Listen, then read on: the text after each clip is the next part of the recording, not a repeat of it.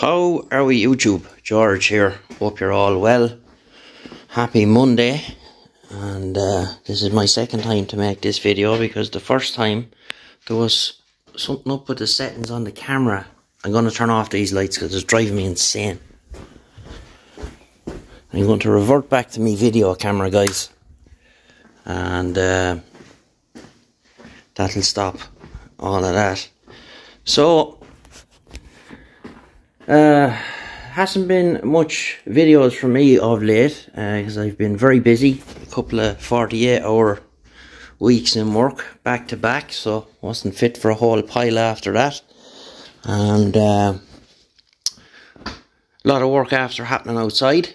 So I'll show you that now in a few minutes. Uh, we had a bit of a tidy up here, and as usual, there's a load of cardboard to go, and um, it never ends, does it? But we went over to see a friend of mine, Eddie. Uh, he's about half an hour away from me, and he breaks bikes and sells bikes and stuff like that. So we got some stuff off him yesterday. We got these nice funky uh, grips. It says GSXR on them. So uh, got them. Got switch gear. I had a left hand one, but the indicator switch was busted, so he had a pair. So I got the pair. And uh, what else did we get? The fuel cap and key. It's like a slingshot type one, bandit type flush fit. Now that doesn't fit this tank, but I have a bandit tank up in the attic. Um, that I, the plan is I'm going to cut the top out of this tank, cut the top out of the bandit tank, and we'll weld the two of them together. But while the tank is open, I'll have enough room to get my hand in and clean it all out and uh, we'll fill it with vinegar and all of that stuff and um, then we'll get that two part epoxy stuff that you can line the inside of the tank with. Uh, so while it was over with Eddie I got a rake of other stuff. Um, bits that are kind of getting awkward and instead of me having to make them really. So we've a battery box. Um, so that's handy. We got a rear caliper off him uh, but this one, we thought it might fit, but doesn't, unfortunately. Um, we've got a starter relay and all the wires for that. There's the other switch here. We'll keep that for spares. we got a horn. And Eddie is getting in uh, a GSXR soon that was it's just kind of a, a mild Street Fighter, but he's going to put it back to standard. So he had a loom there, but he said if I didn't mind waiting for a couple of weeks and he'd hold on to the to the complete loom he had and he'll probably use that on this Street Fighter that's coming back in and I'll end up getting the loom that's on the Street Fighter. Now it will suit me because the loom will be all kind of chopped up so um, that's what I would end up doing anyway so um, it kind of worked out grand. Uh, all these the switch gear here all the leads is still there there's the connections for the horn. You know, everything's there. Uh, brake light. You know, all the plugs are, are, are on them. So um, that's quite good because we're going to try and have all the plugs and sockets and stuff will be in under here. We're going to try and close up this section of the frame here. You can brace it in uh, just to make it stronger. Now, um, on the tailpiece, I was thinking of using this Katana one as you know, this thing's in shite. It just cracks everywhere and it's, you know, all the mounts, a couple of the mounts broke and the ones that's there is cracked and now I could fix it, but look at that.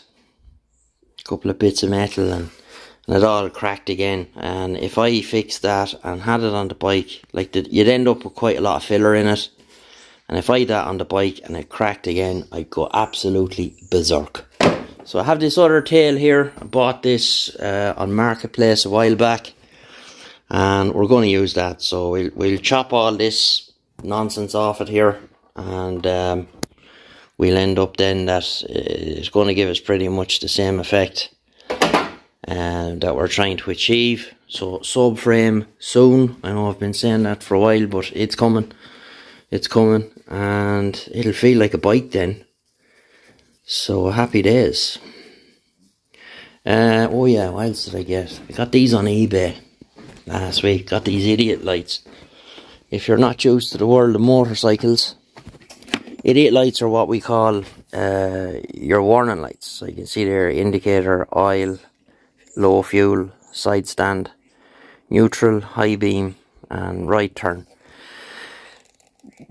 Think this is off a Honda ST 1100 and you know the guy didn't have measurements so I took I just took a chance and the plan was I wanted to put that across here under the clocks across here um kind of fill up that this gap here. There's way there, uh, some somebody said uh, they seen the picture oh yeah the, the clocks are quite far forward but the lights I want to use you know they're they're going to be like here. They're quite big and there'll be two of them so I set the clocks out so you won't have the lights sticking way out in front of the, uh, the clocks which would look stupid so when you're building something like this, you're you're trying to think as far ahead down the road as you can.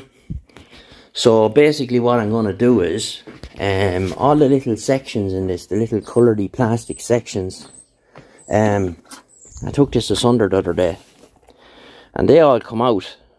They're just like little uh, square pieces of plastic.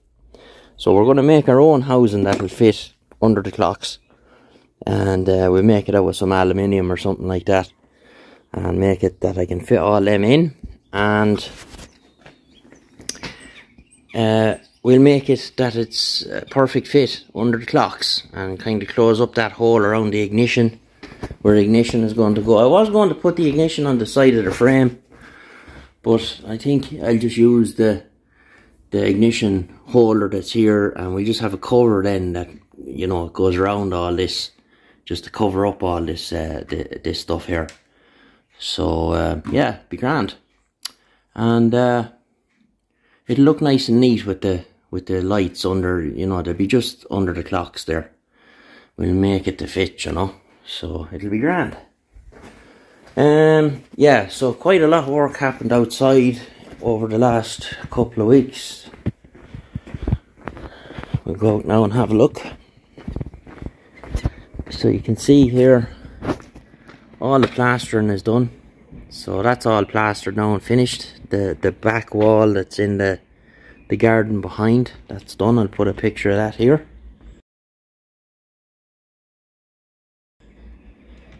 And this is all plastered here and then we put in this uh, it's like a raised flower bed so what we're going to do here is I've done this today, I've just dug this out here because we have to level up all the garden because it's very low down in this corner. So what we're going to have here is like a little four inch square section of concrete we'll say and I'm just going to run it down along there. So when you're cutting the grass the wheel of the mower can just ride on that. And uh, then we have to fill all that up and we'll get some nice plants from the garden centre for that. Uh, we put in some more lights in the soffit here. So little flush fit LED jobs, one there, one in the middle, one in the end. And then I came along after and I put I put one there and I have one in the same spot the other side.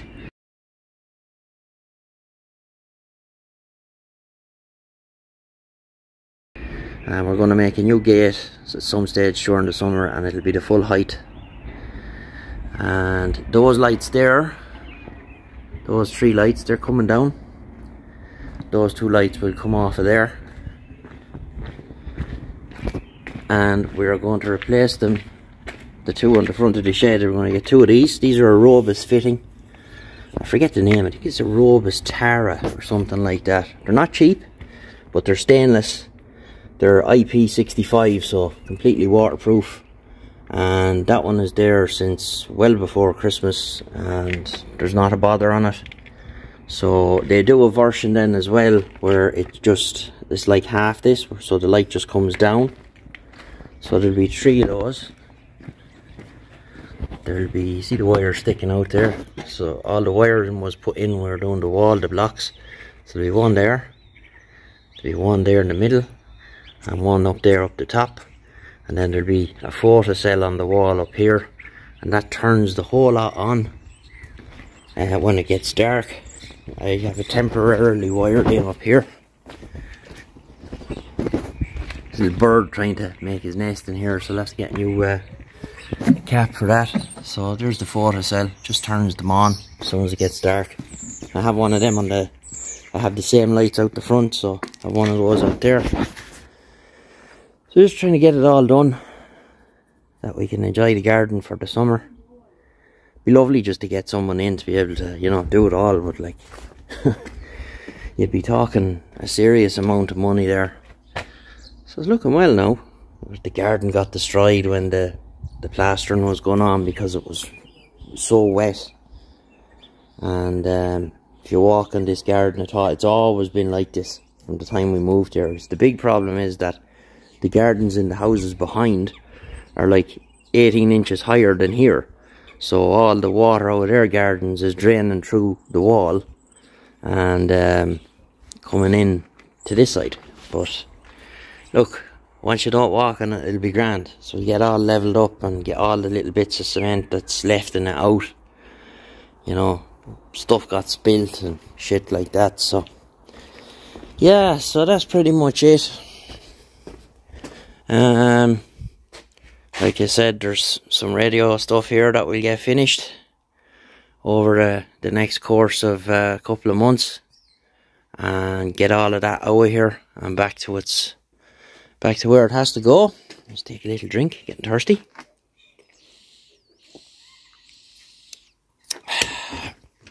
Oh, that's nice. And um, the mother and father of all tidy ups is going to happen here then. Um, there's awful lot of stuff going to go to the dump. There's just shite everywhere. You know, like I must have four or five keyboards and uh, up there and computer stuff, and I, am just a fucking hoarder. That's all there is to it. I keep that now. That'll come in handy. Uh, bike stuff. There's a couple of mud guards. Oh, that's something else I got. I have um. I'm going to put in this. This is a mud guard off a Super Four, the little CB 400, the Jap import. And I had one of those here a few years ago, before I started YouTube, really. Uh, this one is cracked, but we're going to we're going to use. I have one of these on the way. Um, Honda dealer up in Dublin, they had one that were breaking, so got the mud guard. Uh, we'll make a few modifications to it that it fits, and uh, make a little mounting system. Uh, the reason I want to do that is when you use the standard ZXR mudguard, it covers all this. And I know the idea of that as well is to protect the fork stanchions and the whole lot, but I want I want all that to be exposed, that you can see it all. So um, that's why I'm going with that mudguard. Looks quite well on it. Suits it. Nice and neat, you know. So, other than that, uh, not much else to say. And uh, that's where things are for the moment. Oh, that brand new lens up there, a brand new tail lamp lens for the for that light I have down there, the tail light. Picked that up on eBay from Germany. And uh, yeah, I I started a new group on Facebook for lads in Ireland for parts, uh, for bike parts. There's a couple of hundred I think there's 250 in it now so far. I'll put a link to that in the description. It is only for people in Ireland. And if you have parts in your shed and you want to sell them, you can join the group, put photographs and sell the bits. Because lads, I tell you, uh, you know, the guys in the UK there, since Brexit happened, it has just completely fucking killed eBay. Um, getting stuff over from, from England to here it's done. It's not happening anymore because anything you order, like the those lights there, I think I paid. I paid eighteen pound for the lights and whatever the shipping was. I think it was another ten or twelve.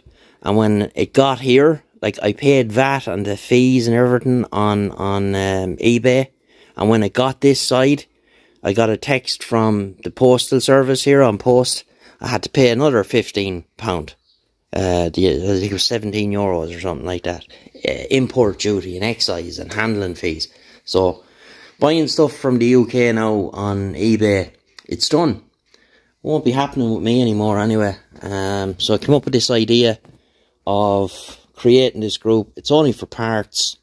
And um, as I said, I'll put a link in the description. And if you're here in Ireland and you're into messing around with bikes and you have a load of stuff lying around your shed and you want to flog it, make a few bob out of it, uh, you're more than welcome to join the group and do that. And buy more stuff that you don't need out of money. So I have a few bits here I'll end up putting on it now. That FZR front end that I had on this bike initially will probably end up on it and a few other bits and pieces. So happy days. Okay, I leave it there. I've rambled on for far too long as it is. Hope you have a nice week. And um, I think the weather is to turn to shit this week. It's supposed to get real cold or something. But um, yeah, okay, so have a good week. Don't work too hard. And we'll talk to you again soon. All the best.